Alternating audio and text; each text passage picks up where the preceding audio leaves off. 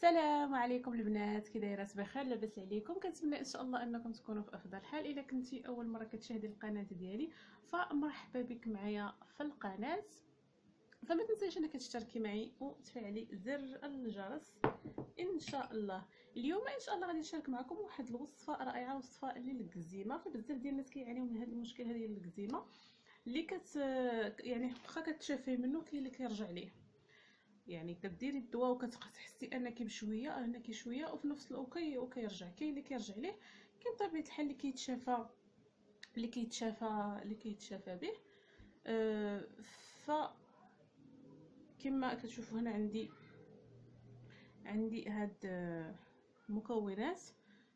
ف أول حاجة بعدا كاينة بالنسبة للكزيما إلا كنتو يعني كتخليو رجليكم ولا هذا سميتو فاسقين فمن الاحسن ملي توضاو تحاولوا أنكم تنشفوا مزيان رجليكم.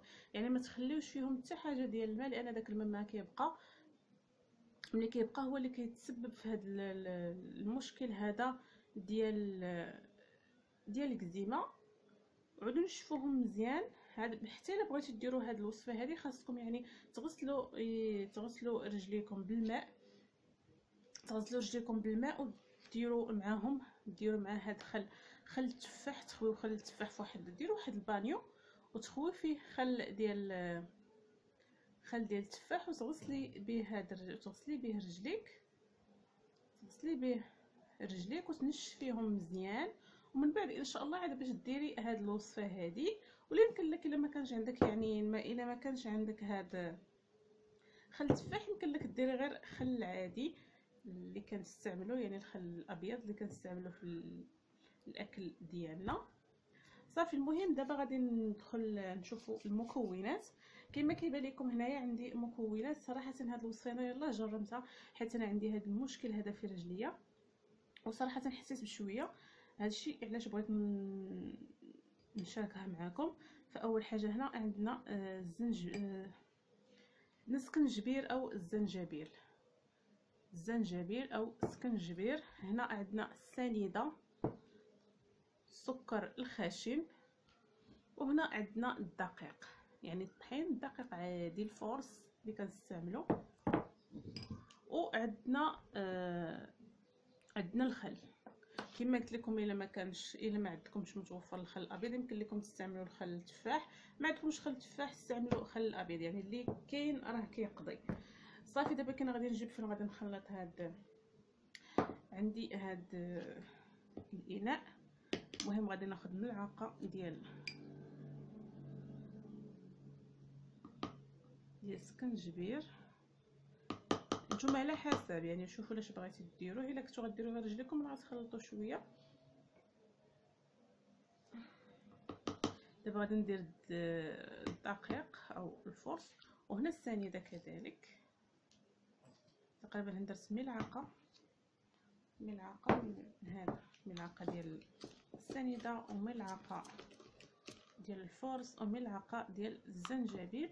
ودابا غادي نضيف ليهم يعني نضيف ليهم الخل. حتى كنحصل على ال... ما غاديش نكون ديروها جارية بزاف. إلا بانت لكم جارية بطبيعة الحال كتزيدوا صافي على هذا الشكل هذا.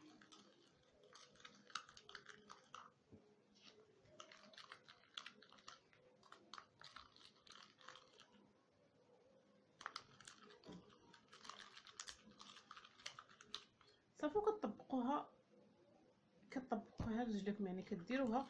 البلاصة اللي فيها الكزيمه عندكم في يديكم راه كديروها عندكم في رجليكم راه تديروها. أنا دابا نيت هذه غادي إن شاء الله نديرها رجليا حيت عندي مشكل في رجليا.